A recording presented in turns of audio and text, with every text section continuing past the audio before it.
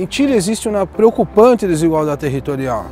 Os territórios rurais são mais postergados, o que impide a suas populações o exercício de direitos básicos e de aproveitar as oportunidades. Isso também põe em risco a coesão social tão importante para o desenvolvimento de um país. Em Chile temos dois grandes desafios. Por um lado, fortalecer as capacidades em los governos regionais, em las municipalidades e hacerlo de uma forma participativa, em plataformas que convoquem o setor público, o setor privado, as organizações da sociedade civil e hacerlo empoderando as comunidades, especialmente as mulheres, os jovens, os indígenas, de modo a generar as condições para um grande pacto de desenvolvimento em los territórios rurais.